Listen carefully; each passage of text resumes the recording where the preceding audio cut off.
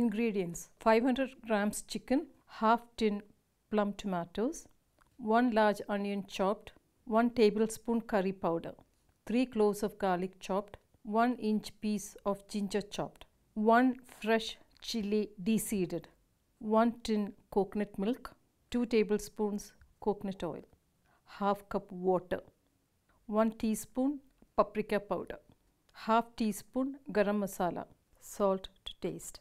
For your rice, 400 grams of rice, 800 milliliters of water, 2 small sticks cinnamon, 2 cardamom, 3 cloves, 2 grams of butter. Mix all the dry ingredients. Marinate the chicken with 1 teaspoon of the dry ingredients for 10 to 15 minutes.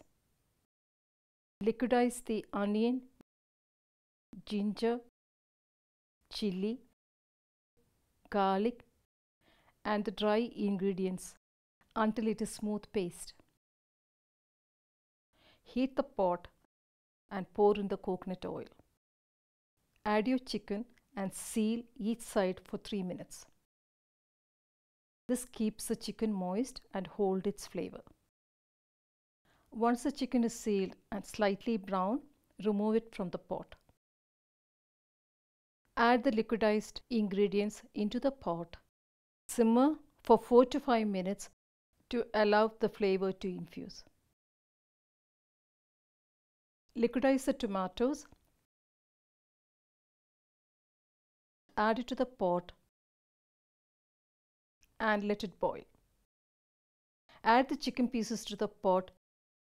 Give it a stir. Allow it to cook with the lid on. Add the coconut milk and give it a stir and allow the pot to come to boil. Put your rice into a Pyrex dish. Add salt, cinnamon, cloves, cardamom, butter. Lastly, add the boiling water. Give it a stir.